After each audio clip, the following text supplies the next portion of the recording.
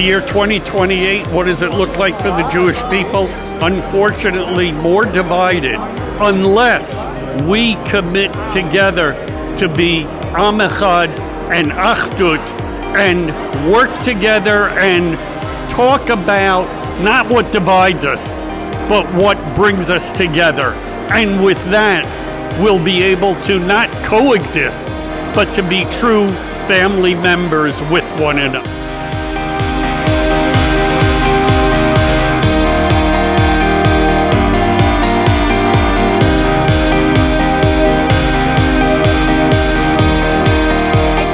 My neighbor here, the famous Avi Dickstein. He lives in he lives in Makabim. I didn't have to come all the way to tell him. Wait, will you come in our in our video? This is Yossi Kedem.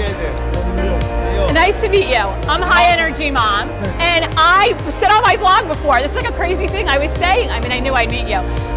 I'm here today for a lot of reasons, but I remember marching with the eight buses, the contingent from South Florida in 1998 with our blue jackets and our flags in the air.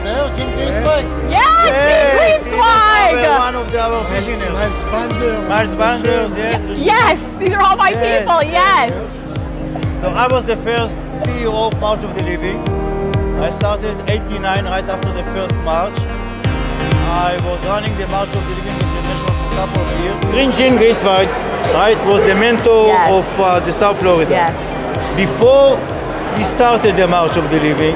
I met him in the GA in Chicago in 1986, together with Shmuel Rosenman. And he said, I have a dream, because I just came from Poland, and the first time for me to be in Poland was 85. What is your dream? That I want, in the next couple of years, half million Jews around the world will speak the language of March of the Living. So Gene, right now we have 265,000. the Shabbat should have an Aliyah. Oh, that is Rest amazing. In peace, and amazing. he's over there in heaven. Yes. I looked at him. In, in, the, in the Kisei HaKavod. No, it's before we had one participant. He told me a day will come, half million Jews will speak the same language of our. I looked at you him. You need a vision. I looked at him, I thought he's, you know, he need to be hospitalized. Right. Because, but he was a nice man. And it was his vision and uh, every time I count now another 10,000, another 20,000. I don't know if in my age we reach it, but soon will come half million Jews will speak the March of the Living language. Amazing. So welcome Amazing. to the club. Thank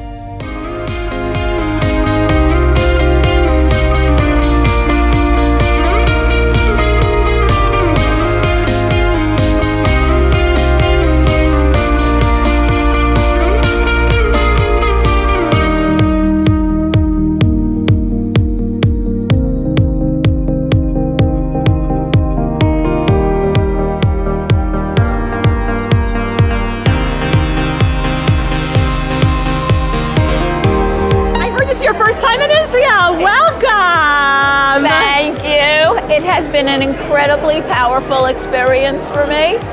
It really, I came here because I was awarded an award from one of the generous families who support these charities. And it was had to do with why you want to come to Israel. And I wrote the application never expecting to win.